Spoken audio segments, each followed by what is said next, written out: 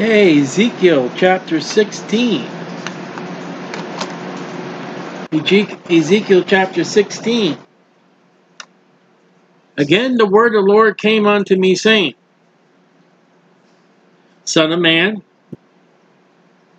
cause Jerusalem, okay, this is dedicated to Jerusalem, to know her abominations. Before the axe falls, God is sending out warnings. Never before the judgment happens does all, all of a sudden, without warning. And we're going to get into tonight a history lesson. Untempered, unadulterated history.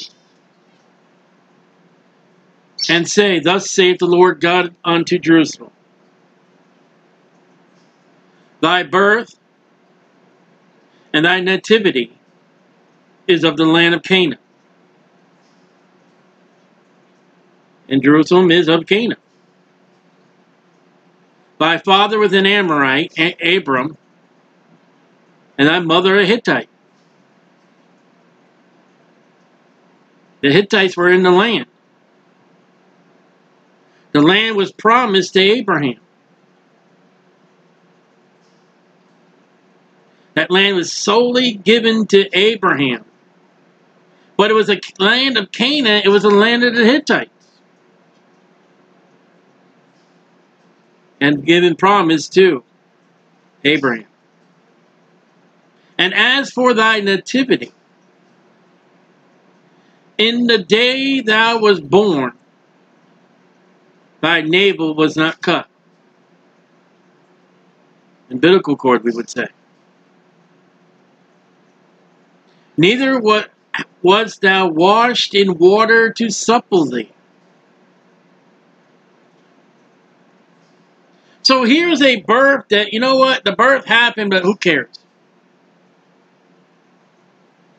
And we hear about these stories today. We hear about babies are born, they're left in the bathroom, they're left in the garbage, they're left in, you know.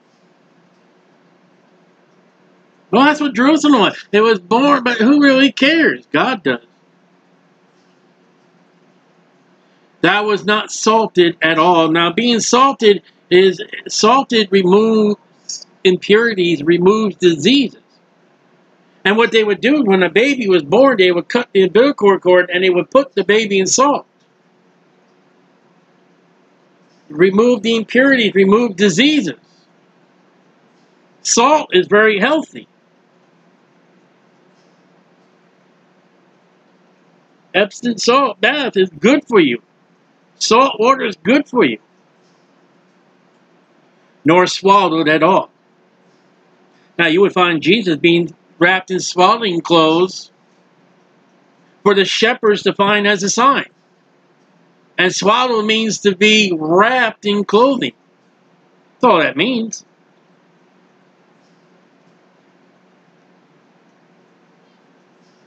None eye pity thee to do any of these things unto thee. Cut the navel, salted, wrapped you up in nice warm clothing. Verse 4 is a protection of the newborn baby. To have compassion upon thee. Again, resulting back into verse 4. But that was cast out in open field. Again, I said, you, hear about that today. Babies are born, they're cast out. Who cares? To the loathing of thy people. They hate you. They can't stand you in the day that thou was born. So when Jerusalem was founded as a city, a city of the Jebusites, Eh, who cares about it? You know, it's just our city. And yet God thought enough upon it to promise it to his people.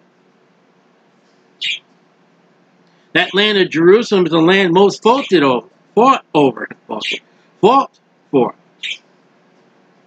And yet the Bible says the eyes of the Lord are on that land, and that land belongs to God.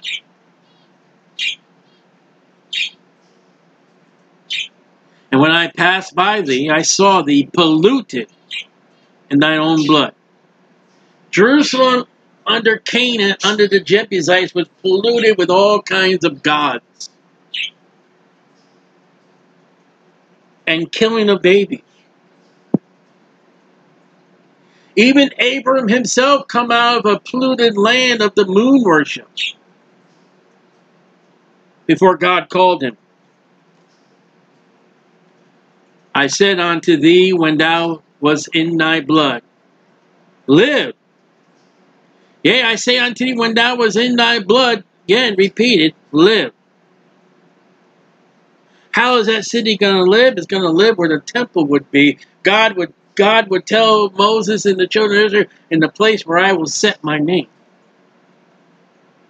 The place where David purchased, Solomon built.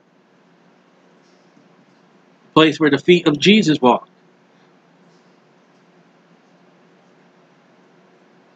I have caused thee to be, I have caused thee to multiply as a bud of the field. Life. Solomon speaks about in the Song of Solomon about the bud of the field of springtime.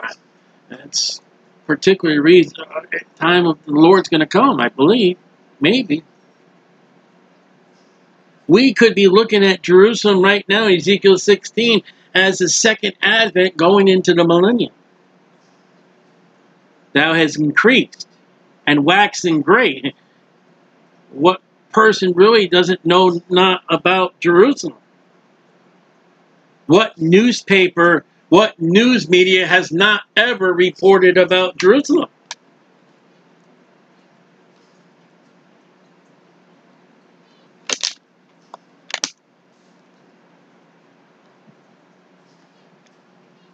How many times in the Bible is Jerusalem mentioned?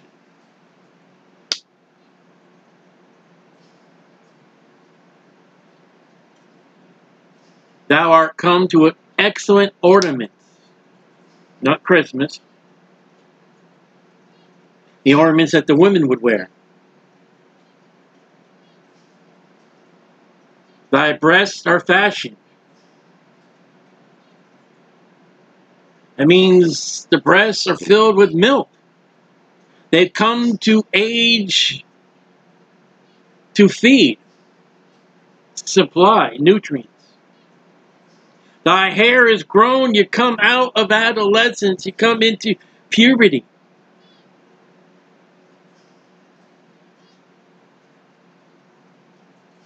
Whereas thou wast naked and bare no more. The God of Jerusalem to the Jebusites and the Canaanites, they didn't care. God does. Now when I passed by thee and looked upon thee, behold, the time was the time of love. God is love. I spread my skirt over thee. I read my Bible. I read my three chapters and I'm done. Did you miss the contact? Did you miss it? Take your Bible to Ruth. Ruth? Why Ruth? Ruth chapter 3, verse 9. Ruth has come in the middle of the night to Boaz. Ruth 3 9, and he said unto, Who art thou? She answered, I am Ruth thy handmaid. Spread therefore thy skirt over thy handmaid for thou art near kinsman. Her husband has died. And according to the Jewish law, Boaz is to marry her. That's what that. So when we come to Ezekiel, I spread my skirt over thee. That's God saying, I'm married to you. Beulah land. How many people sing Sweet Beulah Land and they don't know that Beulah means marriage. That's God saying to Jerusalem, You're mine. That's Ruth saying to Boaz, You're to take me. And cover thy nakedness. Yea, I swear unto thee, God swearing.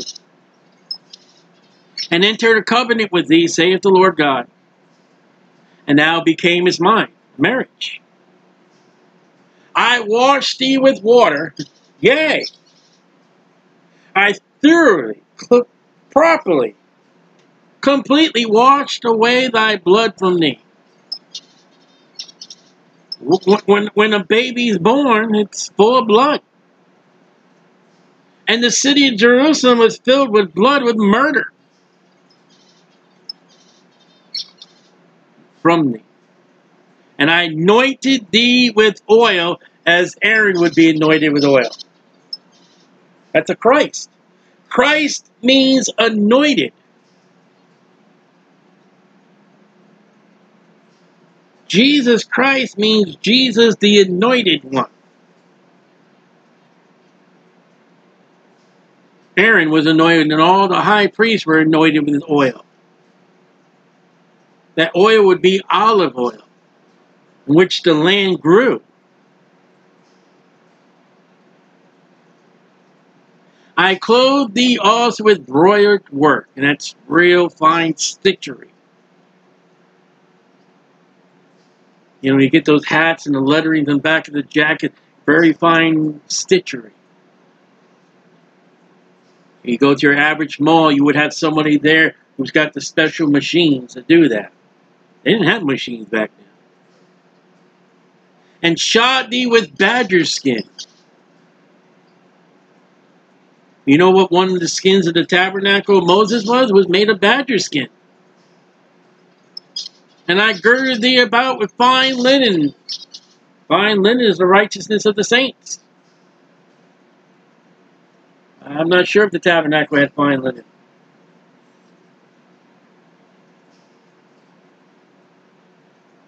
And I clothe thee with silk. Silk uh, comes from the uh, uh, uh, moth.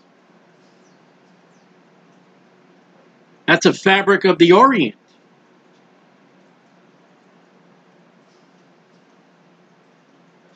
I deck thee also with ornaments not Christmas. Now he's talking about the land. Do you realize in the middle of Jerusalem there's a building decked out with gold? Can you imagine how well that building shined in the afternoon sun?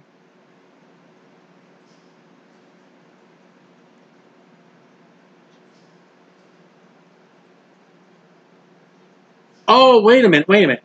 How much is shining? And there are people come up to me. Well, the Bible says, "Let your shine, let your light shine." He ain't talking about you. He's talking about Jerusalem. He's talking about that temple. A city on a hill. That's Jerusalem. Not you. I, I got a thing. I say it's it's one of the Mimi's pictures. And you're so vain. You think that verse is about you. Well, you know, we wouldn't do replacement theology, but we would take the place of Jerusalem.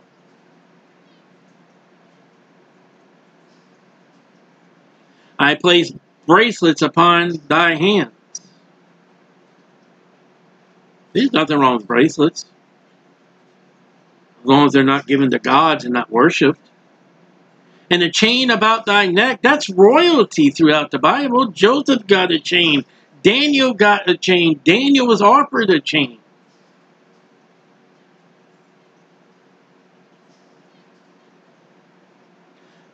And I put a crown on thy forehead. Well, look at that. Uh, wait a minute. I put a jewel on thy forehead.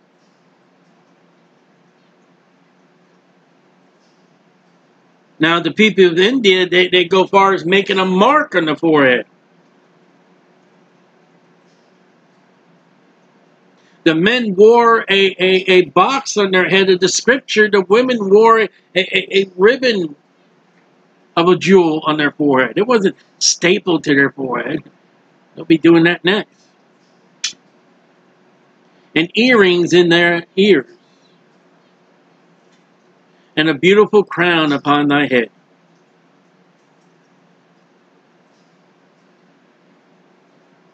This is how God sees Jerusalem.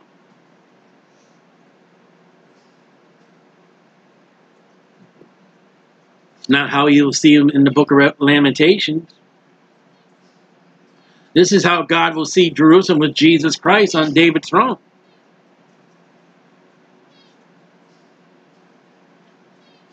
Thou was decked with gold and silver.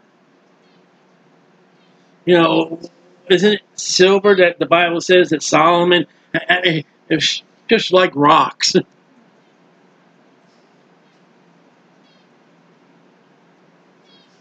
that's a piece of silver. Throw it on the ground.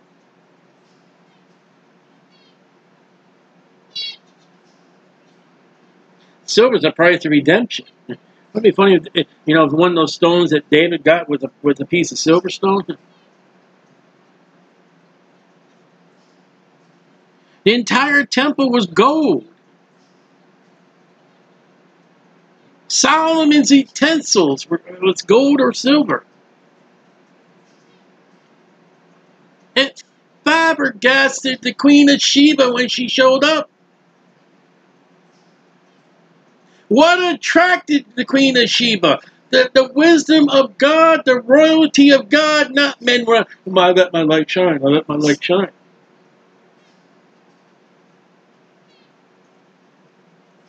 That's the problem when you go into the Gospel of Matthew as a Christian. It ain't for you.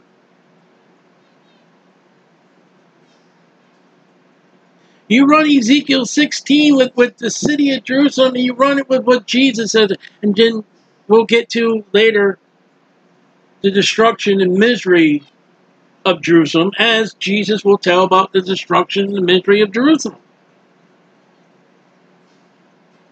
And thine raiment was fine linen. Again, fine linen is the righteousness of the saint.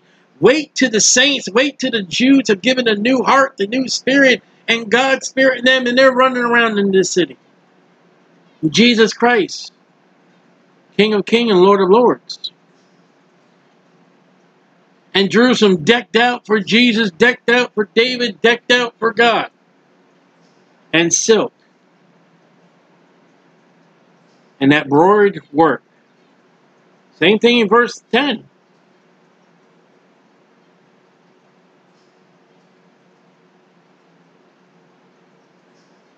And does eat fine flour.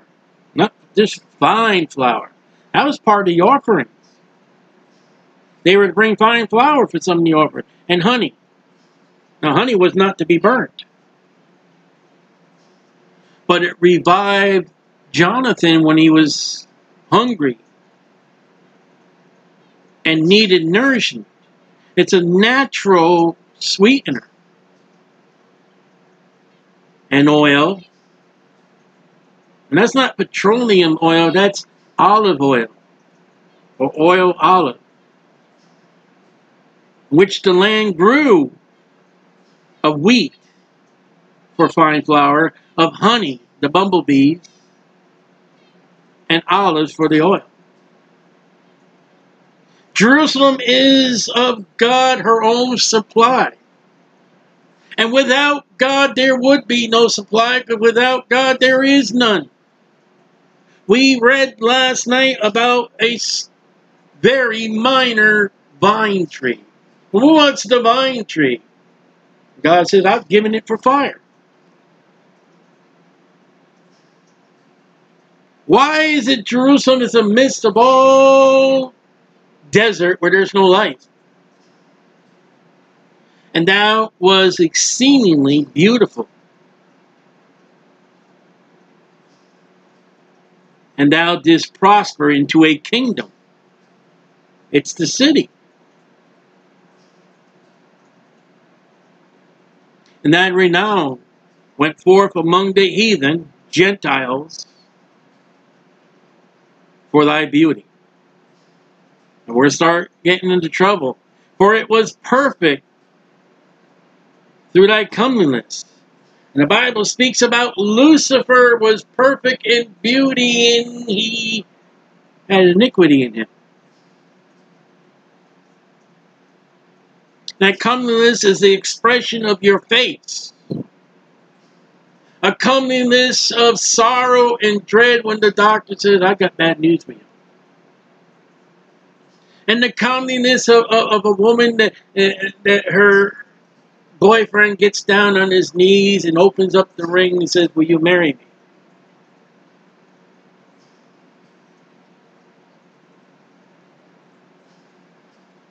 And the gladness of the comeliness when the boss says, Hey, I'm going to promote you.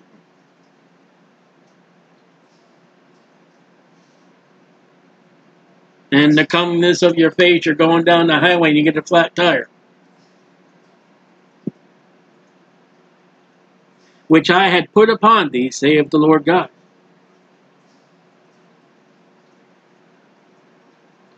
But, that's a big word in the Bible.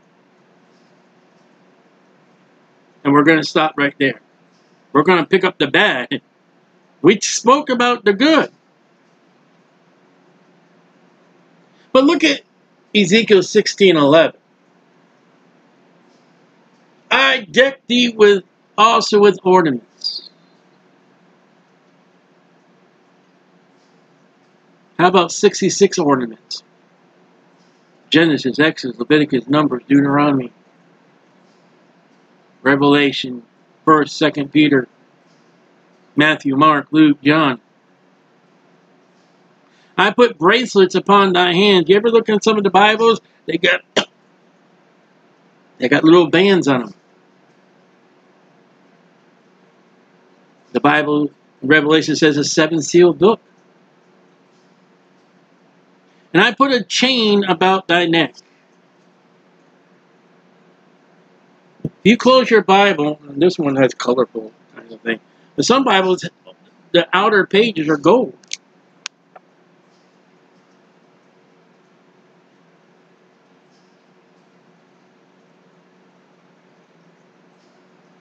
Are you open more to a deck of cards than you are the Word of God? 52 chapters in Jeremiah, 52 cards in a deck. If it's the bracelet of God, the King James Bible, is it upon thy hands?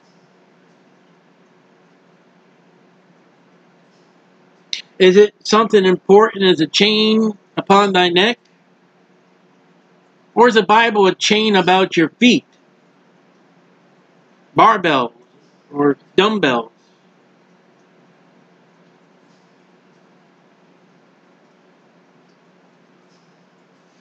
Would you rather be gold and silver or seek the gold and silver treasures of the Bible?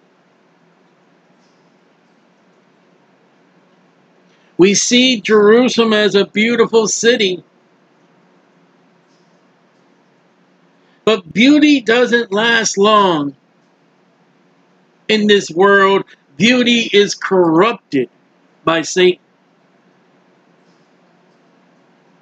There have been some wonderful women in Baptist churches who could sing for God. And they've taken their talent and given it to Satan in the world.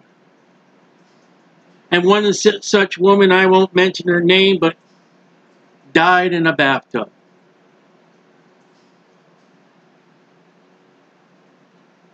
Died in misery.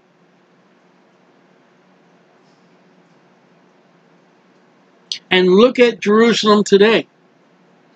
He says, Sally, would you like to go to the holy city? I'm going to the holy city when Jesus Christ brings me. I'm not interested in it today. I don't want to go where Roman Catholic people, priests, and idiots run around. I came out of that.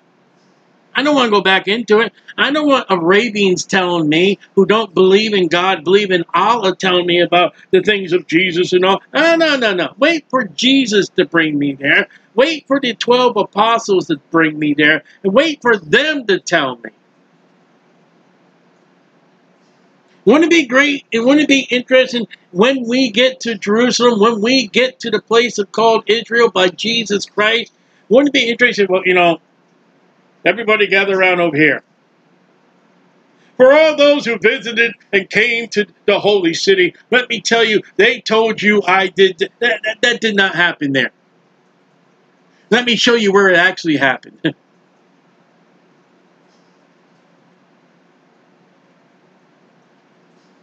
you know, let's go over to Tennessee and let's see how wrong that, that ark that the Gentiles built. I didn't tell them to build.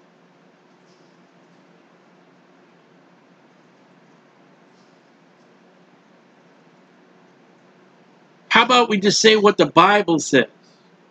And let the Bible and let God tell us. Because can you imagine how wonderful that God says about Jerusalem right here now? You imagine how wonderful Jerusalem's going to be when Jesus brings us in and there's no more curse? Can you imagine the tomatoes? Can you imagine? Can you imagine? Can you ima imagine if you read your Bible when the curse is removed off the earth, can you imagine what those grapes are going to look like in the land that God's given those Jews? When you can imagine the Bible says it took two men to carry a cluster of grapes in Joshua's time? Can you imagine what those grapes are going to look like then? They're going to be size of bowling balls.